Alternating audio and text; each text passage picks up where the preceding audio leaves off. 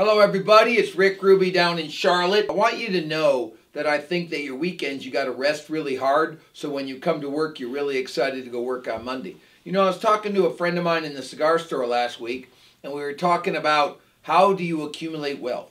Well, I have a pretty simple plan that I follow is whatever I make, I save 20% of the net income. So if I make $6,000 after taxes, I would save $1,200. So save 20% of what you make every single month for 30 years. You'll accumulate wealth. You'll be wealthy. I'll give you an example.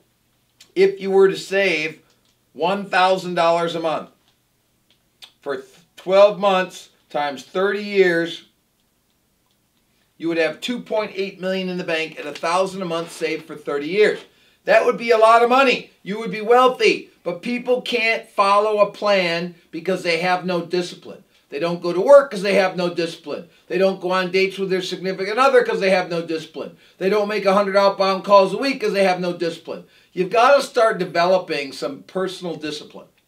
You know, I had a client in town. He's got an 18 year old son that's struggling a little bit, and he wants his son to come work for me after he graduates. And he's either going to go in the army or he's going to come work for me. And working for me is probably like being in the army. I'm very disciplined, very structured. I want things done a certain way. So I gave this kid some tasks to see if he could accomplish some tasks before I would hire him because if he can't take direction, it's no good, no matter how talented you are or how fun you are or how much you want to do well. So, three things I want to look at. I want you to rest really well on the weekends. Don't overdo it on the weekends. I want to make sure you save 20% of your monthly income for 30 years invested in mutual funds. Nice, safe, long term plan. I want to make sure you accomplish some tasks to have some victory in your life. And this week, I need you to call about 150, 200 people. I need you to get out there and make more phone calls so you can have better opportunities to do business, so you have some bigger, better clients to deal with, so you can really make some good money. So your 20% savings is either higher and higher and higher.